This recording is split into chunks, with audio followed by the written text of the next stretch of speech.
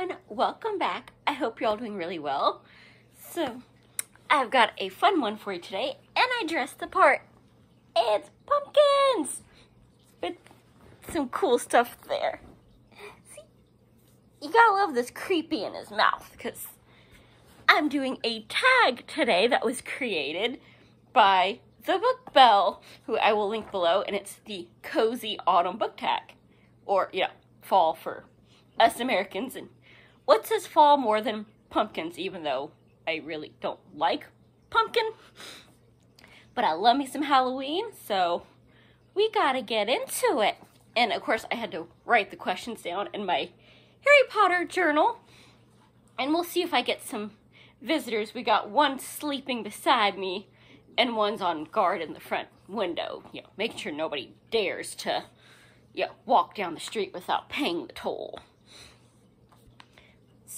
We'll start off with the first question is what book reminds you of fall or Halloween? And for me, that's gotta be Harry Potter, which, eh, perfect, right?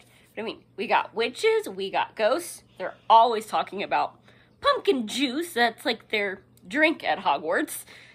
So, you know, pumpkins are fall.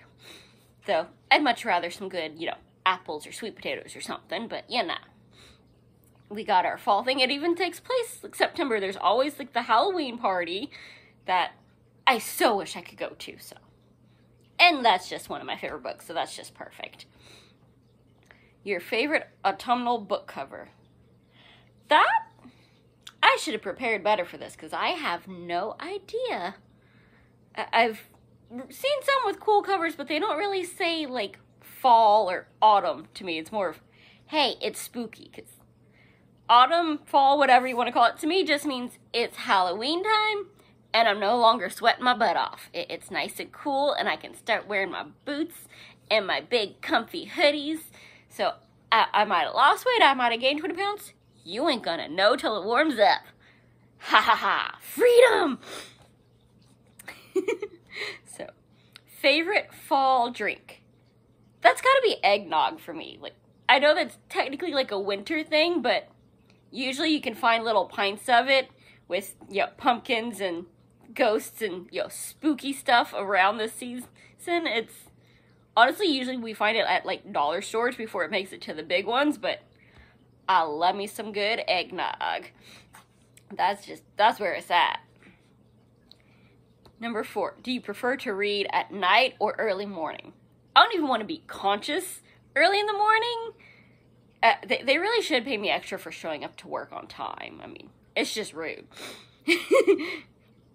no, mostly like at night if I read, I'm not going to sleep because now I need to know what happens next unless it's a book that I've already read several times before.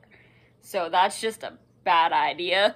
That's why, like, my bedtime routine is let me put on Harry Potter or something else that I've seen a thousand times so I can just turn my back to it and still know exactly what's going on. I don't really have to, like, engage and pay attention. So most of my reading I get done in the middle of the day in random spurts. Favorite spooky read? Mm, I- I'm gonna have to go with a classic here. by want my my favorite horror author. I've got to go with The Taking by Dean Koontz. Like that's the first thing I ever read by him. And when I was this little itty bitty teenager reading this, that scared the crap out of me. So, yep, I, I love that one. If I want, you know, here, here, let's nudge you into horror and give you something that's scary, but, you know, if you read it during the daytime, not too bad. Kind of like, you know, watching my brothers play Resident Evil when they were younger. They wouldn't play it at night, they always turn the lights on. that, that's kind of how you should read The Taking the first time. Ultimate comfort read. Well, anything Christopher Moore, because I've read it a thousand times and they always make me giggle. So if you don't have a weird sense of humor, he's not for you. But he's one of my insta buys. Just like I think I started reading him when I was like 13. My favorite book by him is You Suck. a love story. And if that doesn't make you want to like pick that up and tell you exactly what it's about and his weird sense of humor, then I, I, I don't know what will. I'd tell you the opening, you know, sentence of the book, even though it's actually the second book in a trilogy. but yeah, he cusses on the first line. but trust me, it, it's really funny. Or again, Harry Potter, another one that I have been reading since I was about that age.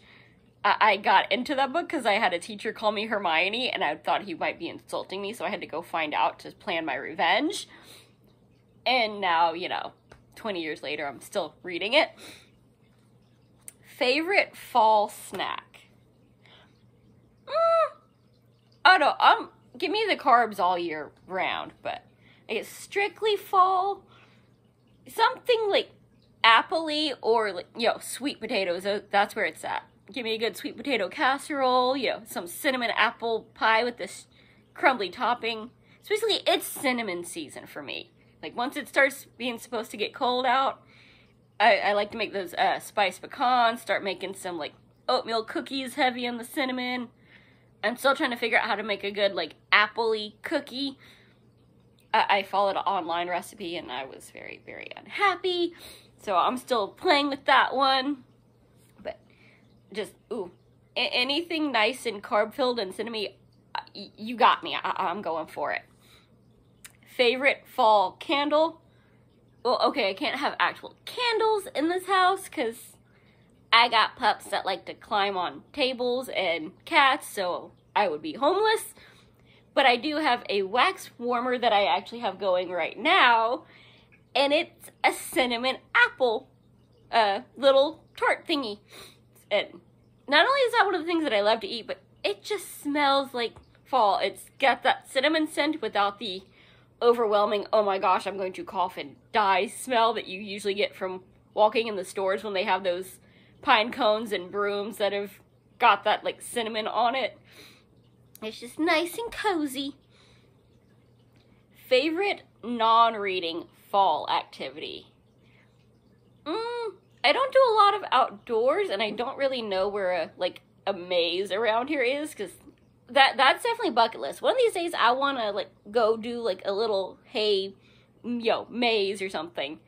But it's carving pumpkins and just decorating for Halloween, just in general, like I- am gonna spend way too much money shopping, even though I've pretty much filled every space that I have already with stuff, but you gotta have options, right? I mean, like, yes, I have like five bins of stuff in the garage, but what if I wanna change it up so the house doesn't always look the same?